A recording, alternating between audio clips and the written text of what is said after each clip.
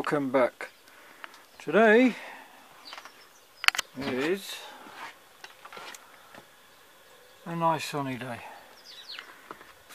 There's no wind and it's not raining for a change so spring is here. But unfortunately we've got this bloody virus roaming around the countryside causing chaos, causing people to buy too many fucking toilet rolls and just being behaving like idiots. No need to uh, run around and panic. Food supplies will still get through. All is cushy, all is well, well, apart from the virus. Right, enough of that nonsense. Today on the bench we have an 807 push-pull amplifier, uh, two 807s in parallel, two per side as it were. This is a quick introductory video I'm just discussing a few points about design. In future videos hopefully I'll uh, go into more detail about how you go about designing a valve or tube amplifier. And this one we just it's a quick go through. Um, yes there are a few mistakes coming up but try as I might I can't master the bloody software and I can't figure out how to put titles in the bloody video. I tried yesterday, took me hours, didn't get anywhere. So, at some point later on in the video, there's some uh, resistors underneath here on this potentiometer, and I see the 1 ohm, they're not 1 ohm, they are uh, 1 meg, 1 meg ohm. And there's a few other little uh, clangs as well. But hopefully, by the time this comes out and between this one and the next one I'll have sorted out how to put titles in using Shotcut. Right, enough of me rabbiting on. Jesus Christ, it's already two minutes long. Please, uh, hope you enjoyed the video. Oh, and by the way, if you do get a chance and you like it and all the rest of it, can you give it a thumbs up or subscribe or something? It just um, helps me sort of get a handle on whether you think the videos are good a pile of shite or whatever. So a bit of feedback from you will be appreciated because then if you do think they're a pile of shite then I will try to make them a bit more interesting and not waffle on so much like I'm doing now. Deep breath. Right, enjoy the video. As you can see everything at the moment is just knocked up so we're in the prototype stage. So how do you go about designing a valve amplifier? Well this is my way and it's not necessarily the correct way. My approach is to do a few calculations, well as, as few calculations as, as possible and wing it really and uh, build it and then fix any problems that present themselves. So where did I start? Well in this case I started with the output transformers and that's how I started on the other amplifiers. I bought a, not these, on the other um, um, valve amplifiers that I built I bought a output transformer off eBay and started from there. So I got given these really nice output transformers with an 8 ohm load they have a roughly 3 0.4k primary. So that's I think they were originally designed for 4 EL34s but uh, I've already done an EL34 amp and I've had these 807s knocking about for ages so I decided to use those. So there we go straight away. There's a design consideration that isn't particularly correct I've just chosen the output valves because they look nice not because of their technical specifications. Um, but all in all an output valve is an output valve. It just uh, it's capable of high current at a high voltage and that's all there is to it really. And the output transformer and the other circuitry has more of an impact on frequency response and harmonic distortion and things of that nature than the actual valves themselves. And the make it doesn't matter what bloody make they are really to a point. As far as I know uh, there is one proviso there. Those that were made in the past from what I've read are better able to handle a higher HT or B plus. Uh, apparently some of the new Soviet or Chinese made valves or whatever can't handle as higher um, as higher HT or B plus. So when designing a, a valve amplifier I've just started with the output transformer and the output transformer dictates pretty much the rest of the amp. Another approach would, to, would be to say well how much power do I want? What um, the frequency response obviously you want a good frequency response. Class A class AB class A2 or whatever. But all those considerations are basically going to dictate the final sound because um, obviously a an A a class A valve is going to add less distortion and a different sound to a push-pull amplifier.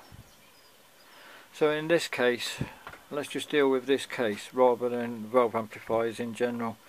So in this case we knew I knew that we've got a output transformer with a 3k4 primary if that has an 8 ohm load. So I basically sat down and draw some and drew some load lines for the 807 I will go into load line drawing in another video this is just a quick uh, a quick look at some of the considerations and uh, decisions. So with that in mind I worked out that we needed a HT or B plus of about 420 volts to get 50 watts. Uh, again I just winged it really I guessed. Um, just did a pretty straightforward Ohm's law calculation to get that. And then I wound this toroid transformer by hand. It was um, a transformer that was that had a it was a toroidal transformer that had something like 250 volt secondaries. Took those off and then rewound it to have higher voltage and with a few uh, windings for the heaters. And there's also a winding for a negative bias supply. So like I say at the moment I'm winging it. I've just wired it up just to see what we get. And it's pretty simple. I've just basically used the same circuit more or less as the last amp I used because it worked. I can change any of this at any point. So this is as I say connected in linear configuration about 43% taps. So here on the grid 2s we've got a 220 ohm grid stopper on all of the valves. And then on the grid 1 we've got a 2k2 grid stopper most amplifiers that I've seen seem to have this 10 to 1 relationship between grid stoppers uh, something like 1k and 100R for instance.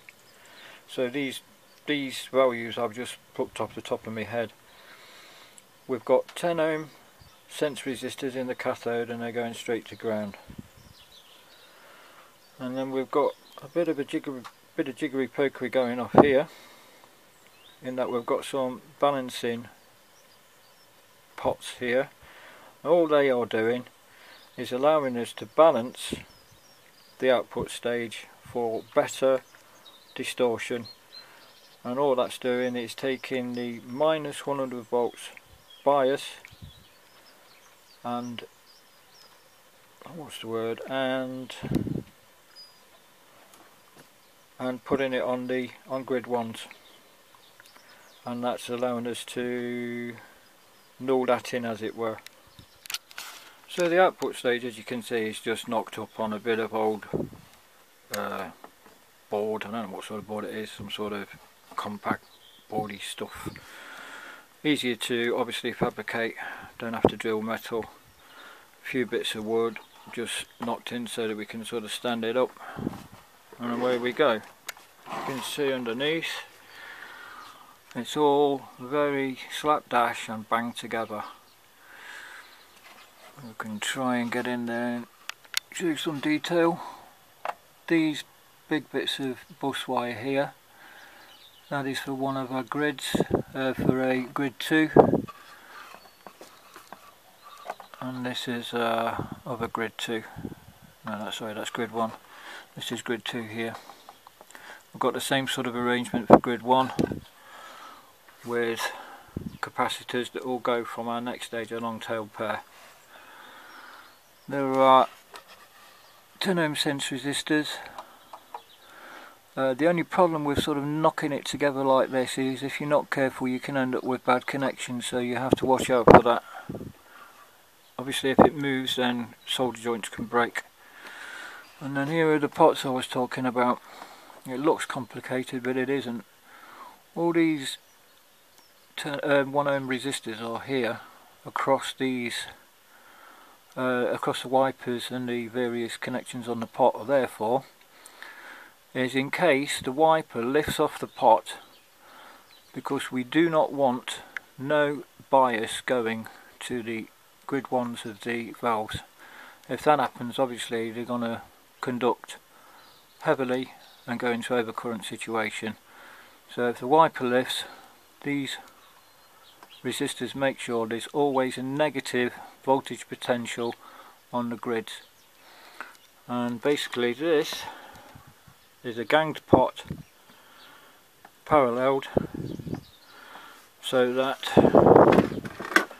if we turn this this way it'll send more voltage bias voltage to this one turn it this way it will send more bias voltage to this side and then this pot here is just dictating how much negative bias voltage there is. At the moment I've got it set very low to minus 42 volts which is lower than it will actually be on the actual amplifier. And that's basically because I'm just doing a few uh, DC tests I'm just making I only wired this up yesterday and I'm making sure that DC is where it should be I've got the correct heater voltages and all the rest of it uh, one word about the heater situation. The heaters are wired in series. So altogether I think, where are we? Four sixes. Four sixes. 24. 24.